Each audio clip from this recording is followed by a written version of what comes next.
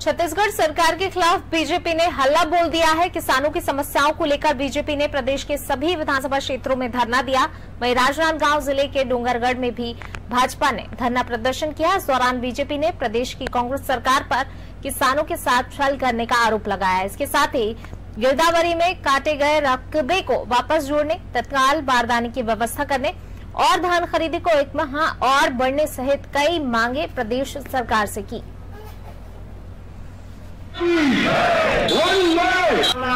छत्तीसगढ़ में विराजमान करे एक बार।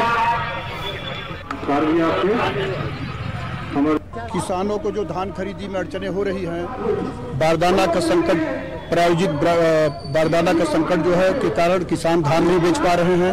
गिरदावली के नाम पर जो है उनके रकबे को काटा जा रहा है और 31 जनवरी तक जो धान खरीदी का समय सीमा दी गई है उसे बढ़ाने के लिए तमाम इन तमाम मुद्दों को लेकर के भारतीय जनता पार्टी के आह्वान पर विधानसभा स्तरीय पूरे प्रदेश के 90 विधानसभा में आज धरना प्रदर्शन किसानों को साथ लेकर के किया जा रहा है। उसी के परिप्रेक्ष्य में डोंगरगढ़ में भी विधानसभा स्तरीय जो है धरना प्रदर्शन का आयोजन किया गया है।